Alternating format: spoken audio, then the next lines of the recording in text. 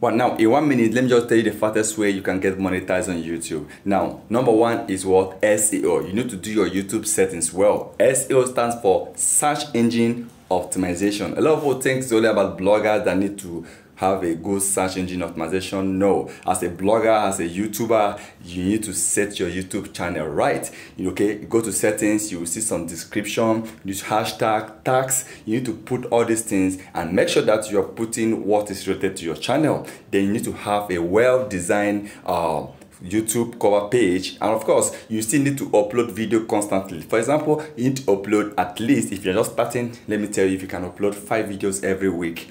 I'm guaranteeing you if you are doing and if you're uploading the right video good video quality videos you will definitely get monetized within the next three months. Yes believe me constant uploading will definitely push your videos forward so please can subscribe to our channel for more video how to make money online